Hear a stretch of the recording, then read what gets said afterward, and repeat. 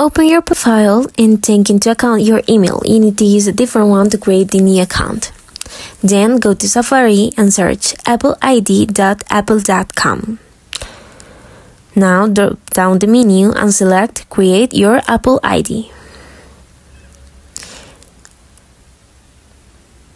Enter your information in the fields, including another email address, your first name,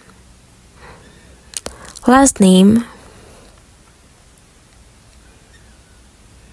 country, and birthday. Select another email any password. Now confirm your password.